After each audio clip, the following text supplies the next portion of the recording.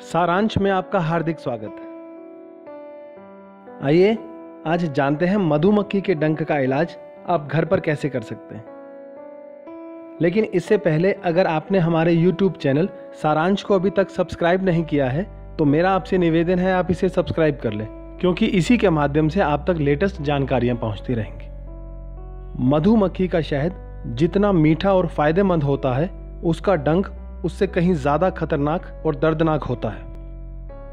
हालाँकि हर किसी में इसके अलग अलग लक्षण देखे जाते हैं। कुछ लोगों को तेज दर्द होता है तो कुछ में केवल सूजन आ जाती है। कुछ में तो वह जगह लाल पड़ जाती है और कई बार बुखार भी आ जाता है।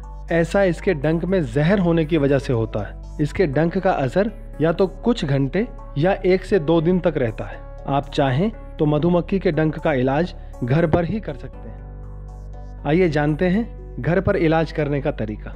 सबसे पहले जितनी जल्दी हो सके इसके डंक को निकाल लें। उसके बाद उस जगह को किसी एंटीसेप्टिक साबुन से धोकर कोई एंटीसेप्टिक क्रीम लगा लें।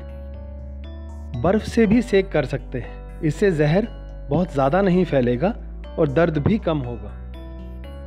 बेकिंग सोडा अल्कलाइन होता है। इसलिए इसे लगाने से दर्द, खुजली और सूजन में राहत मिलेगी।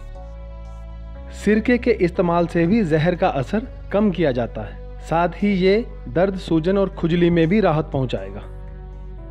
मधुमक्खी काट लेने पर शहद का इस्तेमाल कीजिए। इससे जहर नहीं फैलेगा और इसका एंटीबैक्टीरियल गुण संक्रमण बढ़ने से भी रोकेगा। सफ़ेद टूथपेस्ट लगाने से भी डंक के दर्द में राहत मिलती है।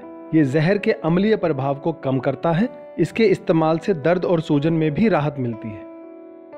तो ये थे मधुमक्खी के डंक के दर्द से बचने के घरेलू उपाय। लेकिन अगर दर्द ज़्यादा हो तो डॉक्टर की सलाह ज़रूर लें। ऐसे ही घरेलू नुस्खों के साथ अगले वीडियो में फिर आपसे मुलाकात होगी। धन्यवाद।